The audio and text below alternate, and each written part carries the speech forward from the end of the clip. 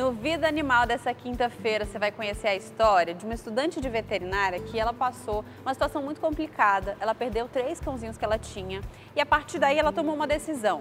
Ela iria ajudar os animais de rua que estavam ali precisando de atenção, de cuidados médicos, de ração.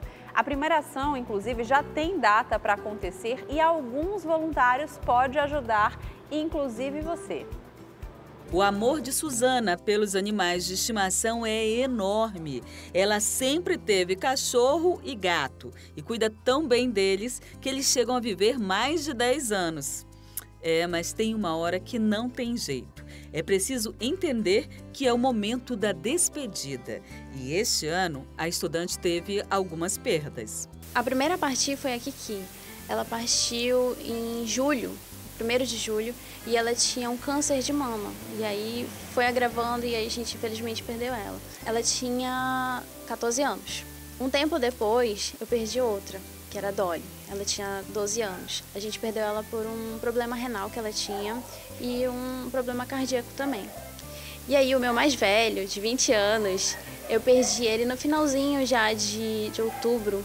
E aí foi uma perca horrível também. Ele, teve, ele tinha problema renal e não andava mais. E aí, daí que veio toda essa história, né? Enquanto os cachorrinhos dela estavam doentes, ela mudou a alimentação deles. Trocou a ração pela comida preparada em casa. Toda ração ela tem conservante porque ela tem um, um tempo muito longo de vida, né?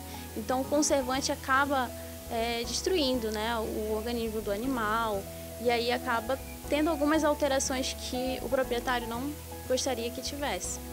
E agora ela quer dividir a mesma atenção e carinho com os animais de rua.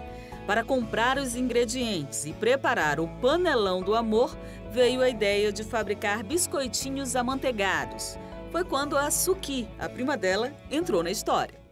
A massa é uma massa simples de biscoito amanteigado. É só manteiga, açúcar e trigo, com um temperinho. De sal mesmo, normal. E são feitos da forma mais simples, com uma decoração com glacê real, que é só açúcar e clara industrializado, sem nenhuma contaminação de ovo. A intenção do projeto em si já, já fez tudo dar certo. A, a ideia de colocar um, uma decoração no biscoito de formato de, de, patinha, acho que deu só o toque final. E em pouco tempo o projeto ganhou reforço. Aqui são oito mulheres, todas da mesma família. Eu quero saber, você é o que para ela? Eu sou tia da Suzana. Tia da Suzana e você tem cachorrinho e gatinho? Temos. Eu tenho, eu na minha casa, né, porque eu faço uma guarda compartilhada com a outra tia dela. Então na minha casa tem um cachorro, tá? Tem o cachorro da vizinha também, que eu adotei também, com a outra guarda compartilhada e mais oito gatos. Olha só, todo mundo tem uma história relacionada ao pet. Agora eu quero saber dessa mãezona aqui, que é a mãe da Suzana, e você meio que está patrocinando nesse início, onde ainda não tem assim, dinheiro suficiente para iniciar esse grande projeto do dia primeiro. Como é que vai ser? Bom, primeiro elas vão utilizar aqui a cozinha da casa, que é compartilhada também, e elas estarão lançando o primeiro panelão no dia 1 de dezembro. E você, como patrocinadora, está entrando com o quê? Dinheiro. Dinheiro e mão de obra. A primeira ação do grupo vai ser feita no dia 1 de dezembro, mas ainda dá tempo de ajudar essa causa.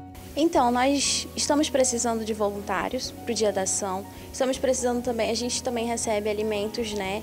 Que são os legumes. E para ser voluntário, a gente fez um questionário que está na nossa bio do Instagram, que é Panela do Amor. E aí você vai lá, clica, responde umas questõezinhas e a gente seleciona os voluntários. E esses voluntários, eles vão participar no dia da ação. Vamos dividir esses voluntários e eles só vão participar no local que a gente vai distribuir os alimentos.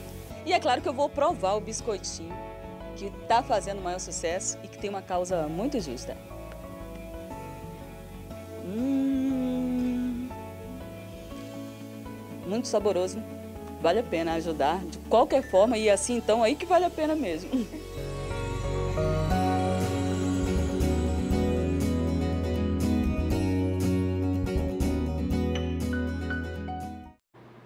Olha, Parabéns, viu, por essa iniciativa. O nome então do Instagram é Panela do Amor, para você conhecer mais do projeto, de como você pode ajudar. E achei uma graça os biscoitinhos lindos e tenho certeza que muito gostosos aí da Suki, né, que preparou.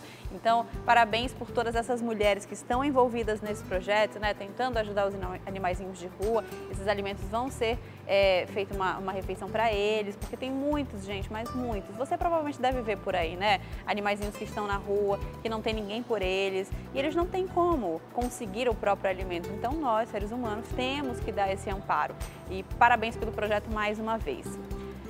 E continuando aqui o Magazine, vamos falar sobre Peladão a bordo reality. É hoje a estreia, já já, depois do intervalo, a Nath vai estar aqui ao vivo e a gente vai tentar arrancar dela aqui algumas novidades para esse ano de 2018. Fica ligadinho, eu volto já.